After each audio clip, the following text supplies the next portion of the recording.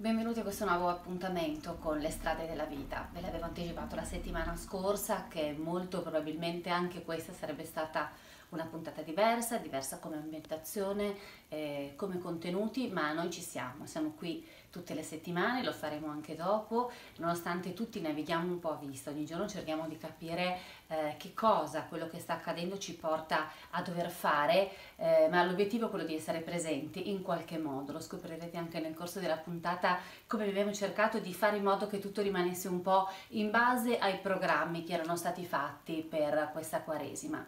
In apertura avete visto la copertina con l'audiovisivo eh, che ogni anno i nostri uffici predispongono insieme a tutti gli altri materiali per la quaresima, questo sul ceconato di Arcabas, ricorderete peraltro un bellissimo speciale di Natale proprio con lui e già avevamo utilizzato un'altra immagine. Eh, parleremo ancora del ceconato durante la trasmissione, peraltro il 2 marzo è morta la mamma del nostro vescovo che tra qualche mese avrebbe compiuto 102 anni, per cui anche da questo spazio vogliamo fargli sentire un po' la nostra vicinanza, ma io direi intanto partiamo con il primo servizio che è proprio quello che ci fa rimanere nella normalità, tra virgolette, che era prima, ovvero la lezione di Madre in mano e l'avrebbe dovuto tenersi questa settimana. Naturalmente, come sapete, le riunioni di persone non sono consentite per evitare la diffusione del virus, ma noi abbiamo comunque registrato la madre, giovedì l'abbiamo mandata, eh, è sul sito per chi non l'avesse vista direttamente giovedì sera, ma ci siamo anche fatti dire qualche cosa per noi, per questa trasmissione. Madre Emanuele.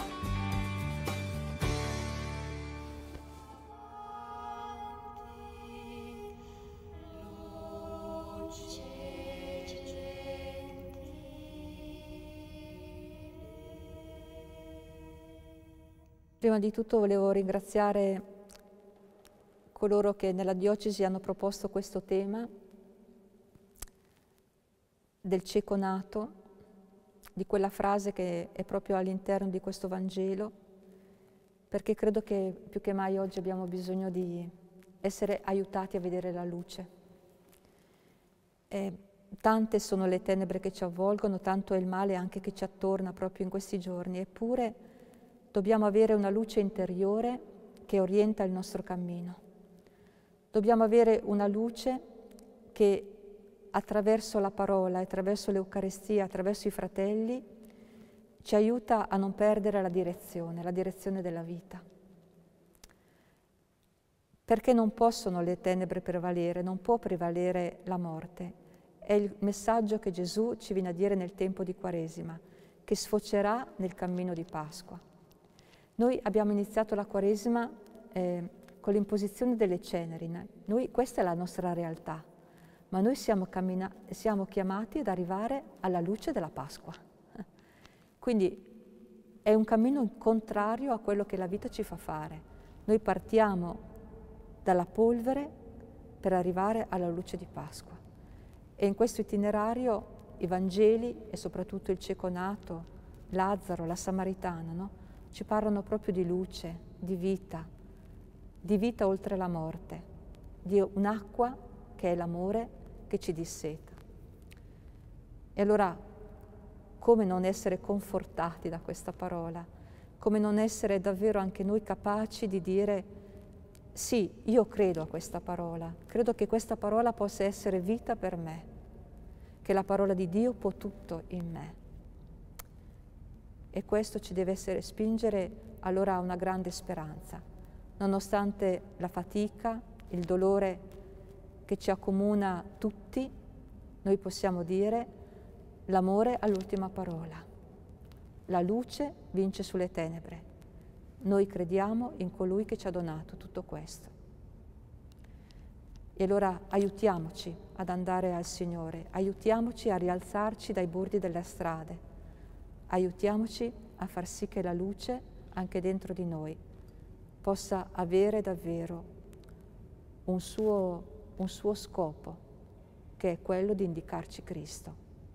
In questo momento di, di grande desolazione, eh, non possiamo non dirlo, eh, credo che nonostante le restrizioni che abbiamo avuto e a cui dobbiamo attenerci, e che tante volte non ci permettono anche di raggiungere i nostri fratelli concretamente che sono nella sofferenza.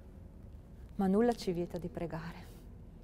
nulla ci vieta di raggiungerli attraverso la preghiera e anche attraverso i mezzi di comunicazione possiamo arrivare a loro attraverso una preghiera costante, una parola che illumina davvero il loro cuore.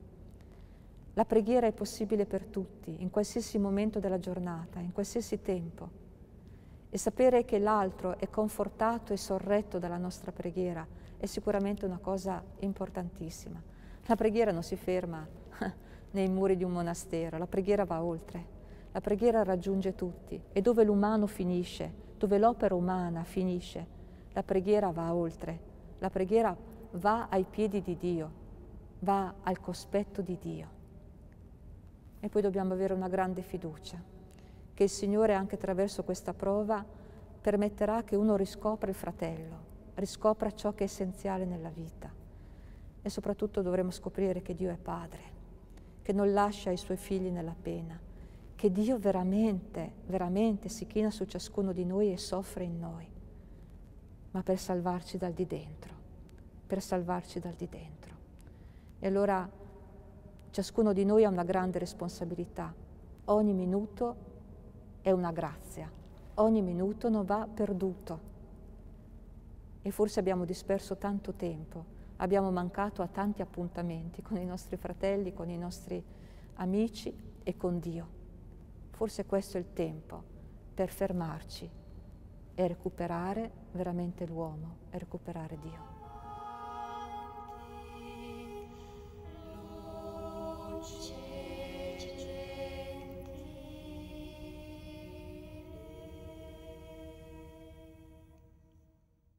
E abbiamo aperto appunto con il ceconato che è l'immagine che è esposta nelle nostre chiese perché come sempre noi scegliamo un'icona che portiamo avanti eh, e ci tiene compagnia nei tempi forti dell'anno proprio perché in qualunque chiesa noi andiamo ritroviamo la stessa foto, lo stesso segno perché tutta la comunità ecclesiale sta vivendo lo stesso tempo forte di Quaresima. Allora abbiamo chiesto eh, all'Ufficio per i Beni Culturali di aiutarci eh, a fare un viaggio nella storia, nella storia dell'arte per vedere come il ceconato stato, è stato interpretato, come è stato protagonista di tante tele, di tante opere, eh, tanti maestri lo hanno scelto eh, per fermare questa immagine del cieco nato nelle, nelle, tele e nella storia, per cui ascoltiamo l'Ufficio per i Beni Culturali in questo approfondimento, in questa riflessione sul cieco nato.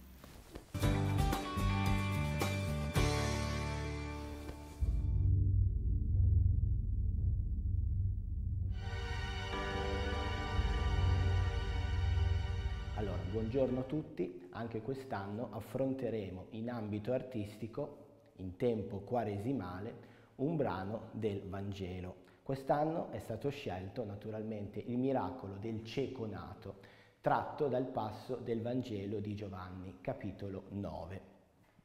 Per farlo abbiamo scelto tre opere esemplificative. La prima è quella di Duccio da Boninsegna, un pittore importante che ha lavorato a Siena, uno dei massimi mestri della scuola della pittura senese. La cosa interessante di questo piccolo dipinto, le dimensioni sono tra i 45 e i 46 centimetri, è il fatto che al di là di una semplice riproduzione che noi possiamo vedere, non so, online o su un volume, dal vivo questo piccolo frammento non mostrava naturalmente un'importanza così decisiva come adesso noi vedremo. Ricordiamo che questo piccolo frammento era collocato nella predella rivolta verso il clero in quella che un tempo era la maestà del Duomo di Siena. Siamo tra il 1308 e il 1311. Duccio è fortemente legato ai modi bizantini, dunque naturalmente la divinità non viene mai abbandonata e questa aura, questo fondo oro è sempre presente. Eppure noi vediamo al centro Cristo che sta guarendo questo cieco. Che cosa accade? Noi come facciamo a identificarlo, a capire che è lui? Perché questo cieco ha in mano un bastone, è una borsa tracolla e il bastone naturalmente era un attributo per identificare i ciechi. Il bastone consentiva di camminare. Cristo lo guarisce, ma noi vediamo che in questa piccola predella il movimento è duplicato. Alla, sin- alla mia sinistra si può notare il gruppo degli apostoli increduli che vedono Cristo mettere due dita con la saliva presa col fango per terra sugli occhi del cieco e subito dopo si vede il cieco che va a lavarsi nella piscina di Siloe. È chiaro naturalmente il riferimento simbolico, non è una guarigione fisica, ma è una guarigione spirituale. Dunque è la luce della fede, apro gli occhi, mi avvicino al Cristo. Molto interessante i dettagli architettonici che contestualizzano l'evento. Il secondo invece quadro che esaminiamo, andiamo più in là nel tempo, è il greco, pittore di origine cretese che ha soggiornato da noi a partire dal 1567 a Venezia. La guarigione del ceconato è conservata alla Galleria della Pilotta di Parma, siamo nel 1573 e anche qui noi vediamo una sorta di differenza, un salto temporale rispetto al primo quadro. Al centro Cristo sta guarendo il cieco e ai due lati vediamo gli apostoli che stanno osservando. Come era prassi in quel periodo, tutta la composizione è giocata sulla prospettiva. Ai due lati so- c'è una, proprio una fuga prospettica che conduce l'osservatore a guardare però al centro, mettendo in evidenza sia Cristo sia il cieco. Quindi è la composizione, più che naturalmente il timbro cromatico che è molto acceso, a mettere in evidenza il particolare, l'immagine, a mettere in evidenza quello che è il miracolo, il miracolo appunto della fede. Il greco è un pittore importante, un pittore che ha giocato tutto sui colori, ma in questo caso sembra attenersi maggiormente alle regole compositive, quelle che erano state già introdotte da un altro grande pittore, che era appunto Raffaello. Il terzo e ultimo quadro invece è più vicino a noi, siamo nel 2013, santuario intitolato a Giovanni Paolo II a Cracovia. L'artista Rupnik presbitero, teologo, gesuita, nonché artista, è celebre in tutto il mondo perché ha realizzato diverse opere a mosaico e questo è molto importante in quanto lui sostiene che i mosaici sono un'opera collettiva, esattamente come devono essere i cristiani collettivi, lavorare insieme. Quindi lui dice a volte se manca qualche artista l'opera subirà un mutamento, un cambio nel registro stilistico. Rupnik è molto attento e il suo stile risente di tutta quella che è stata la grande storia dell'arte medievale. Abbiamo naturalmente l'influenza bizantina, tutti i suoi mosaici sono ricoperti di fondo dorato, ma abbiamo anche l'influenza dei bellissimi smalti di Limoges, parlo del sud-ovest della Francia a partire dal XII secolo. Queste belle figurine sembrano ritagliate proprio nello spazio. Tuttavia c'è una saldezza plastica una ricerca di volumetria che sembra dialogare con l'osservatore. È stato molto abile in questo miracolo del cieco perché ha unito due miracoli. Da una parte il perdono dell'adultera, vediamo dietro che ci sono i sassi, e davanti vediamo appunto il cieco. Solo che c'è una differenza rispetto ai primi due quadri. Il cieco sta, ha già in mano la terra con la quale Cristo, intingendola con la saliva, gliela spalmerà sugli occhi per guarirlo. Quindi il, diciamo che il fedele sta sostanzialmente partecipando attivamente a quello che è il miracolo. Nell'altra mano Cristo sorregge un rotolo, leggermente spiegato, ma non interamente. Il rotolo da sempre raffigura l'autorità del Cristo, l'incarnazione della parola divina, sta a significare appunto che è Lui stesso la parola che si fa carne.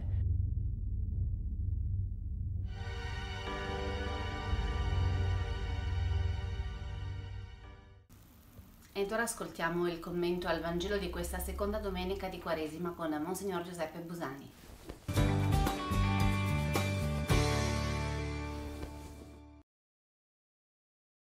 In quel tempo Gesù prese con sé Pietro, Giacomo e Giovanni, suo fratello, e li condusse in disparte su un alto monte. Domenica scorsa, prima domenica di Quaresima, siamo stati condotti da Gesù nel deserto perché con la sua forza potessimo attraversare la prova. Lui ha vinto per noi la tentazione e siamo così partiti con una prospettiva di vita davanti, ma nella vita, nel trascorrere dei giorni, nella fatica di ogni giorno, nelle prove che incontriamo, noi scopriamo di avere sempre bisogno di ripartire. Ecco allora la seconda domenica di Quaresima, sul monte con Gesù per ripartire. E che cosa accade sul monte? Un evento che potremmo davvero chiamare un evento Vangelo, cioè un evento che è bella notizia. E la bella notizia è questa, Dio in tutte le situazioni può operare trasformazioni. La nostra storia è spesso sfigurata dalla fatica, dalla sofferenza, dai lutti e soprattutto dalla morte, ma anche dal peccato. E il passaggio di Dio, la vicinanza di Dio, la presenza di Dio, l'irruzione di Dio nella nostra vita che accade proprio in Gesù, può essere e può operare grandi trasformazioni, trasfigurazioni. Può, può aprire una via anche là dove non c'è via può rendere i volti sfigurati, i volti trasfigurati. È stato così fin dall'inizio. La prima lettura ci racconta di Abramo, siamo al capitolo 12 del libro della Genesi. Nel capitolo 11 abbiamo avuto l'esperienza, raccont- sentito raccontare l'esperienza di Babele, un luogo di morte, eh, dove l'uomo voleva affermare totalmente se stesso senza riferimento ad alcuno. Allora in questo luogo di morte potremmo dire la storia è finita, Invece no, Dio chiama Abramo, anche Abramo ha delle difficoltà, sono morti i suoi cari, la sua moglie è sterile, sembra non avere futuro, eppure Dio in una storia che sembra una storia finita, una storia di morte, chiama, chiama persone che sembrava eh, fossero in una situazione senza via di uscita, eppure eh, chiama e Abramo ascolta questo appello, ascolta una parola di promessa e lascia assegnare la sua vita dalla benedizione e allora la storia può ripartire. Ecco, sul monte per ripartire. È stato così fin dall'inizio ed è così soprattutto con Gesù. Difatti il Vangelo comincia anche con una notazione temporale che non è presa, che non è riportata nel brano proclamato nella liturgia, ma che nel testo biblico è molto preciso. Dice sei giorni dopo Gesù prese con sé Pietro, Giacomo e Giovanni, sei giorni dopo l'annuncio della passione. Quindi un momento difficile per Gesù, ma soprattutto per i discepoli, tanto che Pietro si ribella a questo annuncio. È sei giorni anche però il tempo dell'attività dell'uomo. Ebbene, proprio in queste situazioni irrompe qualche cosa di nuovo. Ecco l'evento della trasfigurazione. Sei giorni dopo Gesù prese con sé Pietro, Giacomo e Giovanni e salì sul monte in luogo appartato, senz'altro direbbe Luca per pregare, ma soprattutto per ricollegarsi a una sorgente divina, una sorgente più grande, perché il momento difficile potesse essere attraversato. E proprio in quel momento irrompe il mondo divino e irrompe nel mondo di Gesù, nella vita di Gesù, ma anche nella vita dei suoi discepoli ad esempio nel, nella vita dei discepoli perché interrompe i loro, i loro discorsi, che erano discorsi di sfiducia in questo percorso di Gesù, e fa vedere un altro volto, un volto luminoso in una storia difficile, una storia oscura, in una situazione che era quella del cammino di Gesù verso la croce. Entriamo anche noi in quest'ora di Gesù sul monte con i suoi discepoli, in quest'ora di trasformazione eh, che è il mistero della trasfigurazione, è un mistero evento e il Vangelo ci aiuta ad entrarci attraverso alcune immagini. La prima immagine è quella del volto, è sottolineata soprattutto dall'Evangelista Matteo. Il volto di Gesù brillò come il sole. Noi sappiamo che il volto è il caso serio di ogni vita, di ogni uomo. Cosa sarebbe la nostra vita senza volto? Come potremmo incontrarci senza rivolgerci l'uno all'altro, senza volti rivolti. E anche la vita del credente, il caso serio della vita del credente, il credente è uno che cerca il volto di, di Dio. Il tuo volto, Signore, io cerco, non nascondermi il tuo volto. Ecco, nella trasfigurazione il volto di Gesù diventa luminoso, brilla come il sole Cosa vuol dire questo? Vuol dire che in Gesù c'è qualcosa di divino, si rivela il divino, perché Dio è la luce, Dio è lo splendore, Dio è la luminosità. Quindi il volto di Gesù, anche se è un volto che cammina verso la croce, quindi un volto che potrebbe essere sfigurato, è un volto trasfigurato, cioè Dio è lì presente in questo cammino. È luminoso questo cammino. Difatti, eh, quello che emerge in questa esperienza di Gesù è il suo profondissimo legame con il Padre. In questa esperienza, in questa sua storia, Gesù è sempre legato al Padre. Difatti la voce dirà è il figlio mio, l'amato, la sua via è giusta, seguitelo, non abbiate paura di seguirlo, di ascoltarlo, eh, che in questo viaggio verso la croce c'è la strada verso la vita, verso la risurrezione. E allora gli altri due elementi che ci aiutano a entrare in questo mistero, la nube e la voce, che ci dicono come è presente il Signore anche oggi nella nostra vita difficile, come si fa presente, noi diremmo misteriosamente, ma misteriosamente vuol dire che si rivela ma non è catturabile e sua, il suo modo di farsi presente è sempre nuovo e sempre inesauribile. Difatti si presenta in una, nube, in una nube luminosa, un'ombra luminosa, vuol dire un'ombra che nasconde una presenza. Gesù è presente ma non è catturabile, ma si fa sempre presente. Anche la voce è una cosa molto fragile, perché dipende da chi l'ascolta.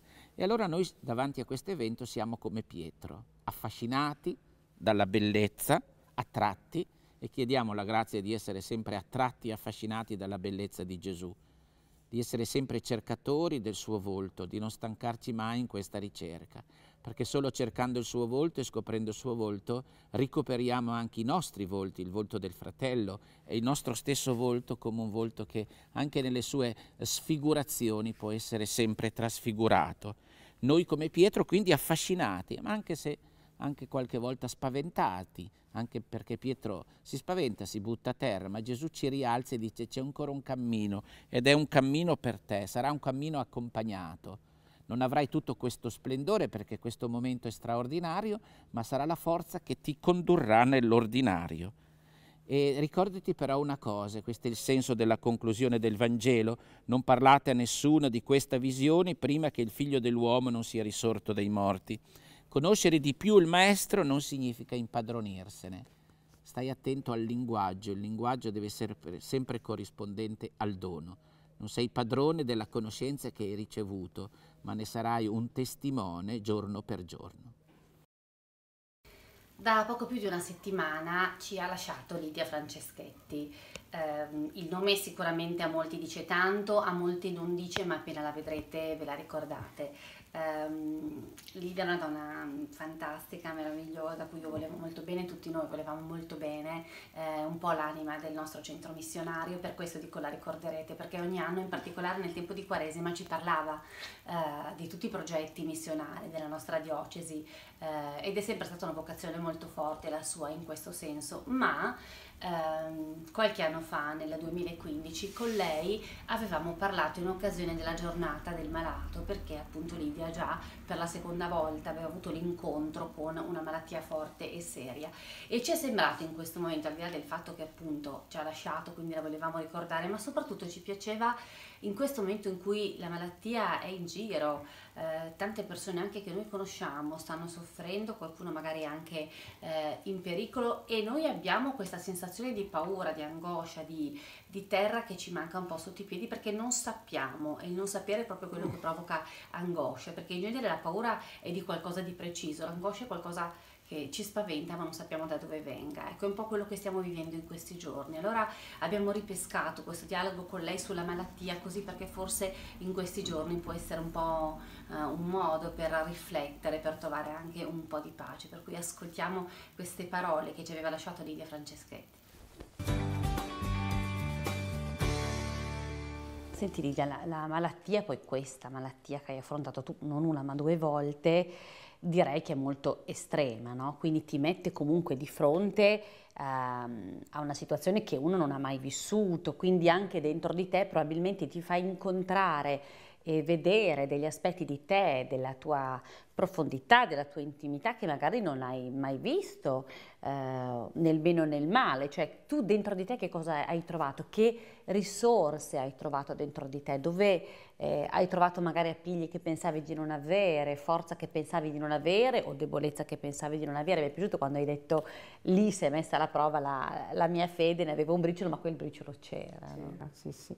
Ma io ho scoperto tante cose, io sono un carattere abbastanza dico aperto, poi tu mi conosci, io tendo a dirlo, per esempio io della mia malattia ho sempre parlato molto, eh, quindi anche questo sicuramente mi ha aiutato, però mi sono resa conto che ci sono anche delle, ho scoperto anche di avere dei momenti che volevo vivere da solo nella malattia, questa è stata una scoperta per me perché credevo invece di avere continuamente bisogno e ho avuto bisogno degli altri, ho scoperto davvero che mh, è incredibile cosa conta l'amicizia, la vicinanza degli amici. Io ne ho tanti, però qualcuno in particolare, per esempio, sento proprio il bisogno di, che mi sia vicino nella malattia e di dire la mia malattia, no? Perché mh, mi hanno aiutato molto queste persone, quindi mi rendo conto, senza compatirmi, anche perché io non, sarei, non sono molto disposta a questo, perché io mm, anche in casa, con i miei figli, con mio marito, il quale ha vissuto anche lui il problema del tumore al seno assieme a me, perché noi nei primi sei mesi del 98 siamo stati operati entrambi di tumore al seno, quindi noi abbiamo vissuto insieme questa malattia, siamo riusciti sempre a parlarne io direi abbastanza lucidamente e ad aiutarci sicuramente. Ecco, quindi abbiamo anche fatto un percorso insieme su questo e, e, credo davvero però di aver scoperto, sì, questo è vero, quello che dici tu, anche delle cose dentro che non pensavo di avere. Io sono sempre un po' eh, così, tendo a fare tante cose, eccetera, invece sicuramente ho avuto bisogno di fermarmi, di essere un po' più riflessiva, di ripensare alle cose fatte. Oggi sento per esempio il bisogno davvero di fare le cose una alla volta, insomma, non troppe insieme. E, e ho imparato ad apprezzare molto di più quello che ho avuto, anche quello che ho avuto prima, ho cercato di impormelo, di dirmi quante cose belle ho vissuto, no? i miei figli, eh, pensa, al viaggio in Brasile, col centro missionario, tante cose belle che ho avuto la fortuna di poter vivere. Poi la malattia un po' mi ha impedito altre cose, ecco, però insomma ho cercato sicuramente di vedere il lato positivo delle cose. Io ricordo una cosa, no? così la ricordo sorridendo, io uh, quando ho fatto la seconda chemioterapia sapevo di, questa è una tragedia per tutte le donne, perdere i capelli, no?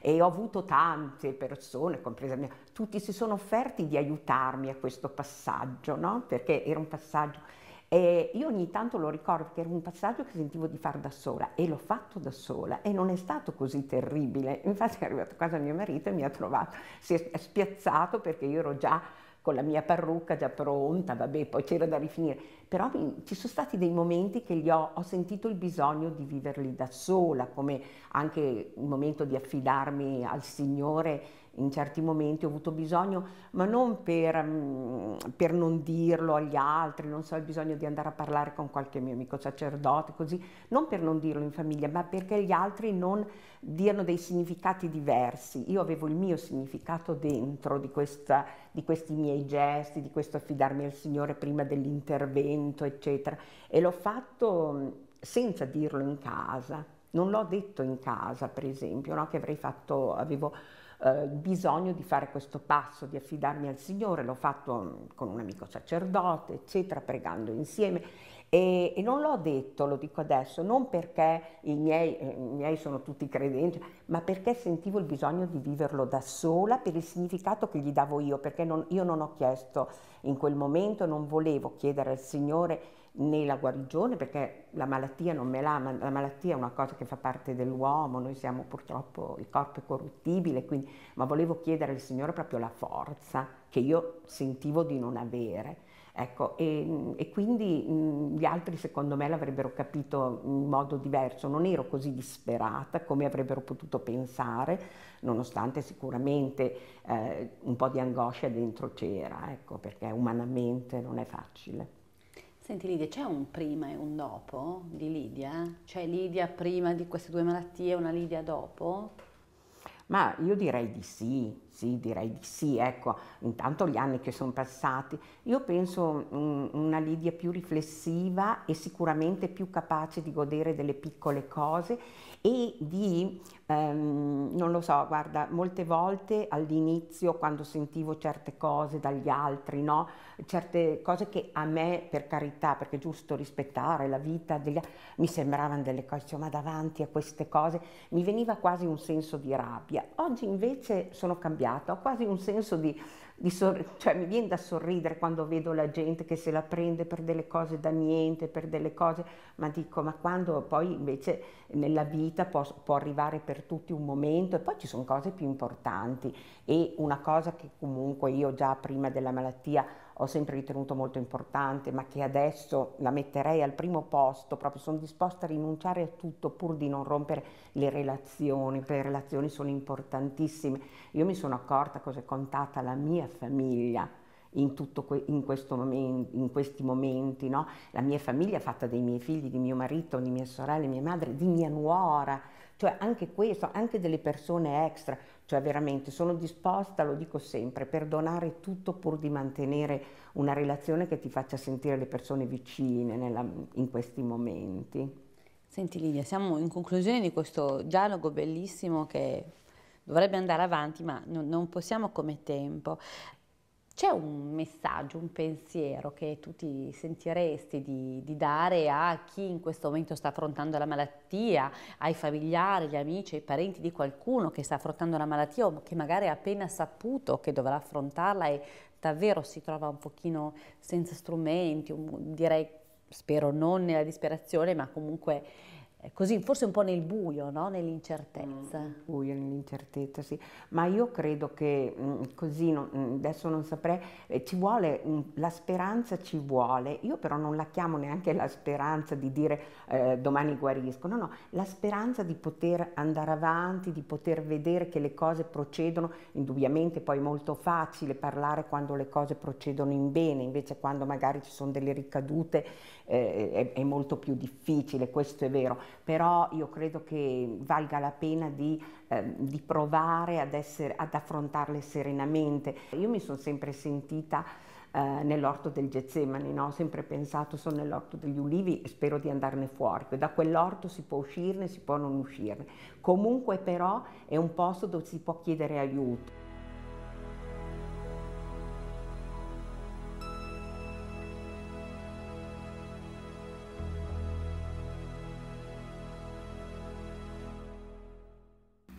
Io vi ringrazio per essere rimasti con noi, non vi dico quali sono gli appuntamenti per la vita della diocesi, perché come sapete gli appuntamenti non ce ne possono essere, per cui io vi auguro comunque una buona settimana, una buona quaresima, vi auguro di riuscire a trovare un po' di normalità in questo spazio, in questo tempo, noi sicuramente sabato prossimo saremo qui, buona settimana.